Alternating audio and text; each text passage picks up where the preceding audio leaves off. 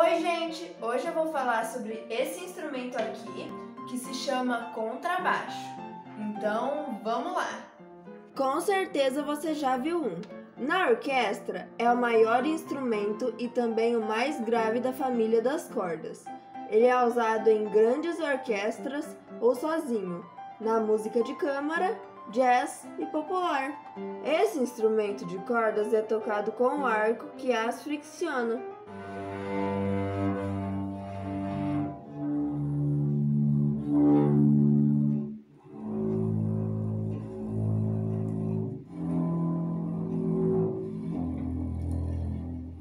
Tocado por psicato, que em italiano significa beliscado com os dedos.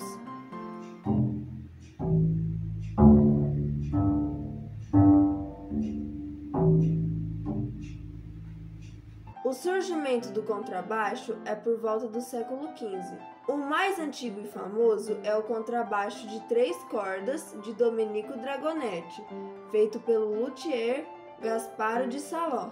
O número de cordas que um contrabaixo apresenta normalmente são quatro. A partir de Beethoven, ele passa a ser separado do violoncelo e no final do século XIX seu timbre passa a ser mais explorado nas orquestras de formas variadas, misturadas aos sons do fagote, contrafagote, clarinete e etc. Somente no final do século XIX surge o contrabaixo com as características que conhecemos hoje.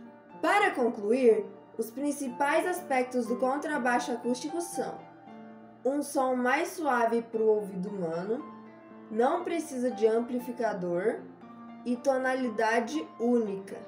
Espero que vocês tenham gostado do vídeo. Se vocês gostaram, vocês podem deixar o like aqui embaixo, se inscrever no canal e compartilhar com seus amigos. Então, beijos e até a próxima!